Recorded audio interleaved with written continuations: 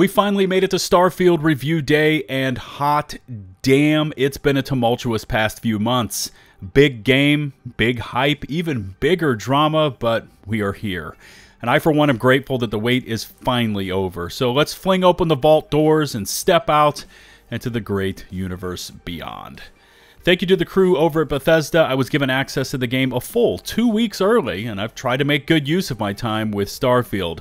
Now, after logging nearly 60 hours and hitting all parts of this game, there are two facts that have been made abundantly clear to me. First is that Starfield is massive, not only in the sheer size of the universe itself, but in meaningful content available to players. This is a game that will measure time played in months, not hours. And the second is that over those 60 hours, I saw a big fat zero on the bug scoreboard, confirming that this is the smoothest, most polished Bethesda launch product we've ever seen. Welcome back to the channel, it's Lieutenant Buzz Litebeer, and here it is, my spoiler-free Starfield early review. And as you can probably tell from my voice, the gaming experience on tap was awesome. It's Oblivion in space with a different style of world building and exploration. Now, there are a few items that are not up to snuff, and my critiques will point those out to you, but there's a lot packed into my review, and I hope you enjoy it. If you haven't done so already, make sure to hit subscribe and ring the notifications bell to receive my latest upload alerts. Likes, comments, shares are greatly appreciated. Of course, chapters are ready and available for an easy viewing experience, and away we go.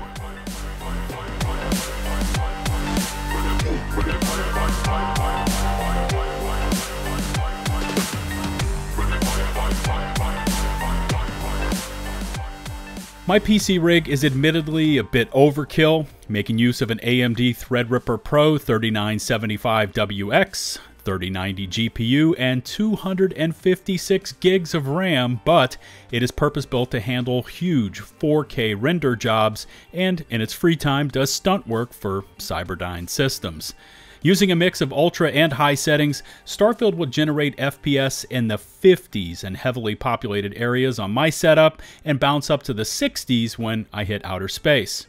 Varied lighting effects, shadows, textures for the most part, and color palette all look to be present and looking pretty good. In general, Starfield is a good looking game that at times looks great, especially when outside the city limits. Now, once my recording software was switched off, I saw a 5 to 7 FPS bump, which was something we were alerted to in our review copy packets. And DLSS could be useful here once it is modded into the game. Now, three items that could be of great benefit to the settings menu are a field of view slider, frame limiter cap, and decent benchmark tool, all extremely valuable and all missing.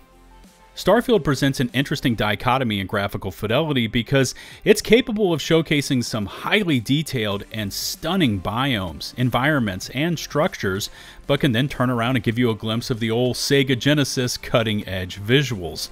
Pop in at medium to longer draw distances is present, and once you focus on textures that are slightly off your main sight lines, you'll see that either the game engine itself or FSR just can't do the math fast enough to give you crisp fidelity across the entire image. Bug eye syndrome does show up in larger non essential NPC crowds, and details like realistic hair physics and skin tone and complexion are still lacking. You can definitely see the improvements over Fallout 4 or Skyrim, and when you are planetside or out in space, Starfield can produce some amazingly beautiful visuals. Just expect it to scale back the minute you touch down in a populated starport. Gunplay is fast paced and tight, not Battlefield type, but dramatically improved over the floatiness of Fallout 4 or the general jank of Skyrim. Now, the arsenal at your disposal varies widely, and there's something here for every type of playstyle. You've got rifles with varied fire types like full auto or three round burst, energy weapons, grenade launchers, rail guns, and even a portable mini Gatling gun. I tried a John Wick setup with a silenced handgun and shotty, which I highly recommend. There's also the option to just go only use me blades with combat knives, axes, and swords. Or for the ultimate Mike Tyson punch out enthusiast, you can turn your targets into chunky tomato soup using only your fists. And of course, the Splinter Cell stealth mode is always a popular option here. No matter which way I went, the controls overall felt tight and steady Feedback when connecting with targets was instant, and recoil was predictable. AI gets a nod here as well, as enemy combatants no longer charge mindlessly at your position. You will see a varied mix of melee rushers, mid range shootouts, and various explosives hurled at your position. Enemy soldiers now attempt to use cover and strafe, while heavier veteran targets feature a segmented armor bar, giving them fallout levels of resistance, but now in a compressed display directly over their heads instead of at the very top of the screen.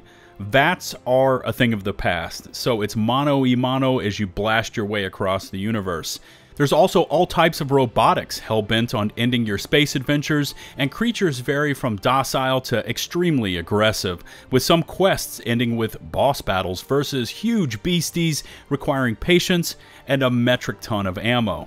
Loot drops pretty much from anywhere, from anything, and typically, the higher level target that is downed, the higher the chances of getting the best loot.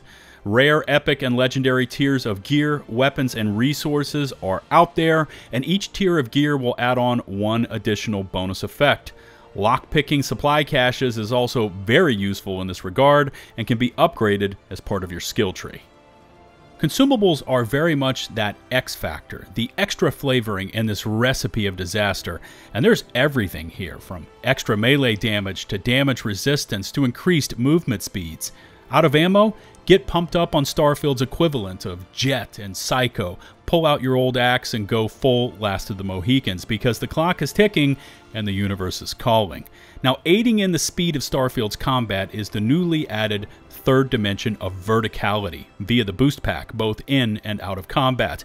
You'll find yourself bringing down death from above or boosting into the fray, and the difficulty ramps up as the gravity goes down. Zero G or near zero G combat is intense and takes planning, but when cranked up to full throttle, combat becomes this frenetic ballet of sprinting and shooting, hurling explosives, boost packing to vantage points, popping med packs like candy, and looting down bodies mid combat for even more supplies. It's gritty, pseudo tactical, rewarding, and I loved every damn second of it until you hit the orbital boosters into space, and this was really hit or miss for me, starting off with flying your ship in space combat. I came to grips with it, but I never truly embraced it. You see, ship controls, especially using mouse and keyboard, are both floaty and lethargic. I ended up dialing back the sensitivity to near zero, just to give me some semblance of control, but it was like wrestling against Andre the Giant each and every time I entered the fray. Oftentimes, you were thrust into these 4v1 battles, or even these random legendary ship encounters, and having full mastery of your ship's controls is imperative for victory, and I just never felt comfortable with this part of Starfield. Gauging turn angles or bank angles is difficult due to the limited FOV, and there's also a mechanic of salvaging destroyed ships for ship parts, which are essentially health kits used for hull repairs, and locking onto these things and bringing them into your inventory while in full on combat is next to impossible. Both of these items could get better with adjustments, but as it stands, this was my least favorite part of the entire game. Outside of combat, boarding your spacecraft and blasting off into space is a thrill each and every time. Hearing the thrusters with that overdriven bassy note of distortion hitting you in the center of your chest like a Woozer set on level 10 just never gets old. Once a system is discovered and unlocked, as long as it's within grav drive distance, you can dial it up, fold space, and be there in a matter of seconds. Planets and moons can be scanned from space for a general idea of point of interest locations and resources, and these scan results can be further enhanced through your skill trees. Now, technically, you can fly from planet to planet within a system, but it will take you a bit of time, even using your ship's limited boost reserves. Or you can use the fast travel system, at which time you get a brief animation and you arrive at your destination a few seconds later. Landing on planets gives you the option to choose an area of interest, or you can just randomly pick a zone and put her down there. It's your call. With full planet exploration available, but not continuous circumnavigation. Now, once planetside, the sky's the limits for climates and weather conditions. Burning radiation, freezing cold, raging dust storms out of nowhere, even day and night cycles, you're going to be seeing it all. And if you are exposed to these conditions, even wearing a full on protective spacesuit, that can lead to you getting afflictions such as hypothermia, radiation poisoning, and a whole lot more. And here's where having the good sense to stock up on your space brews and potions really pays off. Flora and fauna can be farmed and scanned for cataloging, random structures can be searched for loot, larger areas could be inhabited, either by friendlies or the other sort, and depending on your talents chosen here when first creating your character, you could end up getting jumped by bounty hunters, which also happens in space. Running around planetside makes you appreciate your oxygen bar, essentially your stamina meter, and increasing that for later in the game is not a bad idea. And here's where you also get to take full advantage of those booster packs. Options abound here, and Starfield gives you back as much as you give. Through the robust character creator, allowing for hours of customization, down to the literal arch of your eyebrows and optional scarring, to the position of tattoos and your character's neck shape, there's enough detail here to make a three hour long breakdown video and still not cover it all. Same with the ship customization and the ship creator system. You see, eventually, you're going to outgrow your aging starter spacecraft and need to stretch your interstellar wings to better and further destinations. And here is where you can either purchase a prefab ship or go full handy manny and take an existing ship frame and create your own. In my near 60 hours of logged playtime, I tried out both, and they each have pros and cons. You see, purchasing a prefab unit is simple. No fuss, no muss, but there is a significant bump in the price tag for one of these units because you're paying for the convenience factor.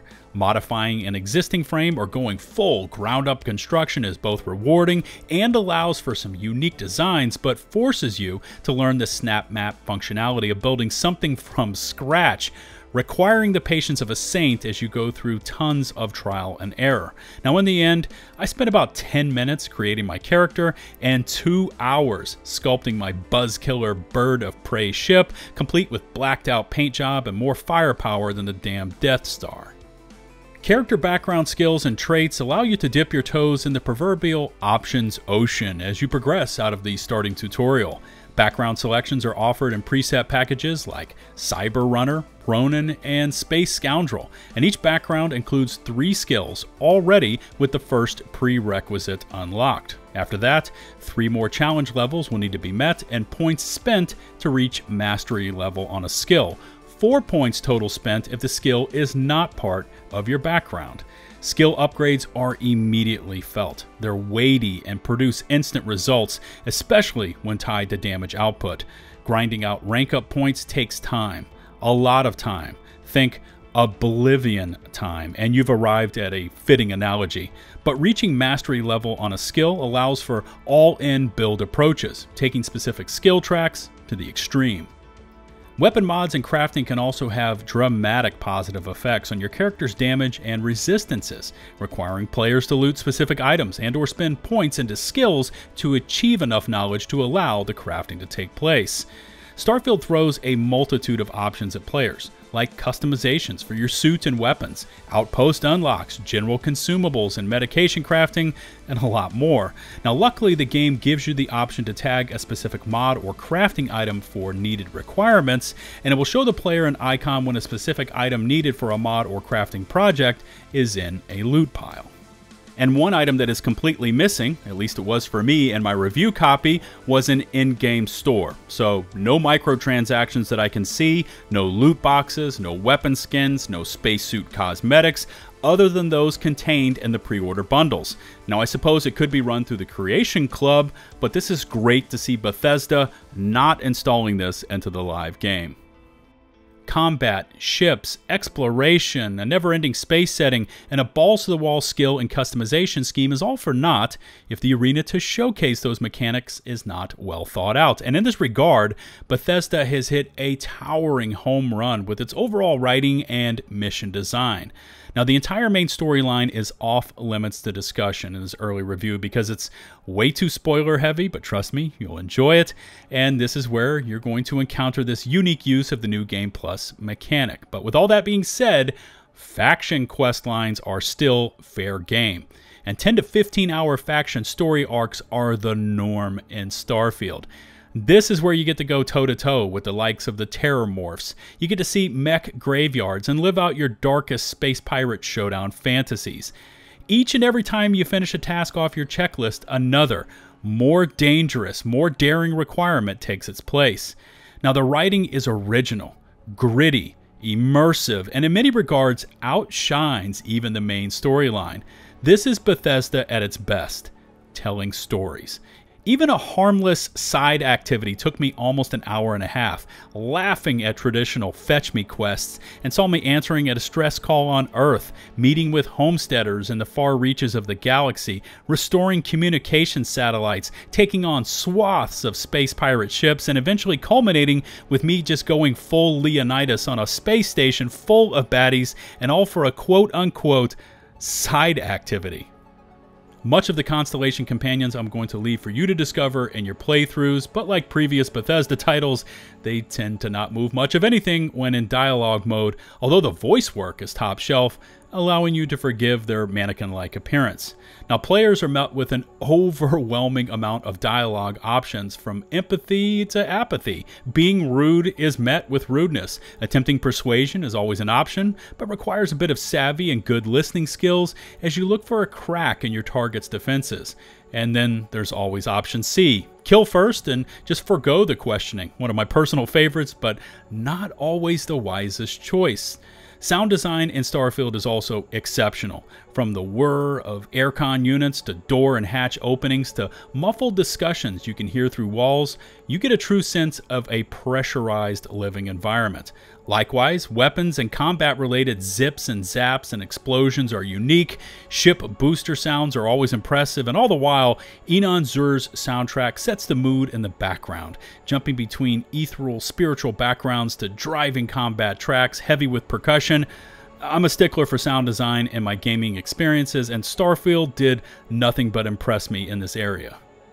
I personally don't like putting scores on games as so much of this is subjective. You know, one person's delight is another person's disgust, but the positives far outweigh my small list of grievances with the game, and I would place Starfield firmly in the definitely must buy, highly recommended gaming category. Strong pros include high levels of polish and a bug free experience at launch, beautiful storytelling with robust and weighty quest lines, and a grounded NASA punk style that mixes the unknown with reality. Now, I have no idea how long this game's content has been estimated to take, but it feels like hundreds, maybe thousands of hours, with extra DLC slated to drop early next year. That being said, there's still work to be done here on the base game, including revamping those disconnected flying controls, adding in some much needed QOL features, and getting some of the rough texture models dialed in. I supported Bethesda through Skyrim, Fallout 4, and then was met with the cold sting of 76. But with Starfield, they've once again stamped their name as a leader in the RPG genre, and I can't wait to see what the next quest line has in store for me. And that's going to wrap it up for my early review of Starfield. Leave me any questions you may have, and I will, of course, do my best to answer them. Remember to hit subscribe and ring the notifications bell to receive my latest upload alerts. Likes, comments, shares are greatly appreciated. All my socials can be found in the video description below. A huge shout out to the over 148,000 of you that have stuck with me and hit subscribe. And a special thanks goes out to my patrons and to those of you firing over those awesome YouTube super chats. Until the next one, this is Lieutenant Buzz Litebeer, signing off.